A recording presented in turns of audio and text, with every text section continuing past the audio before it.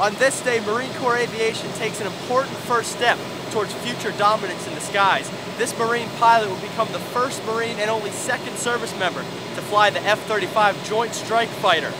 The Air Force, the Marines, the Navy, and as well as eight other nations will fly this jet. The sheer power of the jet rattled ears as Major Joseph Bachmann, an F 35 test pilot, took off from the Lockheed Martin plant here in Fort Worth, Texas, March 19th. A firm test, card complete, setting up card 30.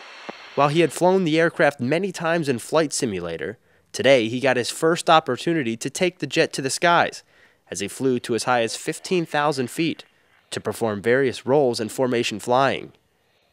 Although Lockheed Martin will extensively use the flight for further testing, the main reason for this flight was to get Bachmann comfortable with flying the aircraft that he's testing, and in turn providing feedback to the designers.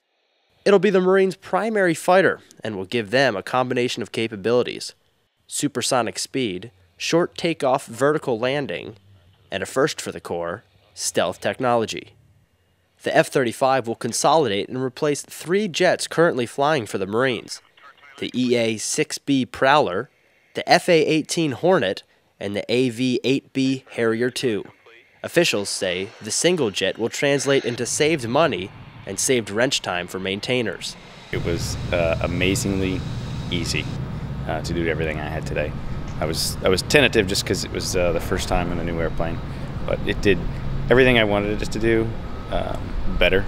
Uh, it does. It's going to mean a lot to the guys on the ground. It's going to perform amazingly well for the Marine Corps. I'm going to make sure that happens. Uh, it already has a great start. It was uh, badass.